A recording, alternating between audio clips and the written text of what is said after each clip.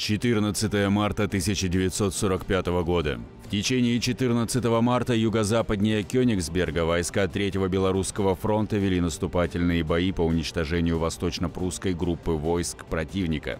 Заняли 12 населенных пунктов и железнодорожную станцию Фогельзанг. Войска фронта взяли в плен более 2000 немецких солдат и офицеров. Войска Второго Украинского фронта, преодолевая сопротивление противника в горно-лесистой местности в полосе Карпат, овладели городом и важным железнодорожным узлом Зволен.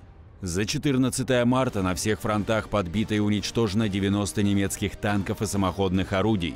В воздушных боях и огнем зенитной артиллерии сбито 18 самолетов противника –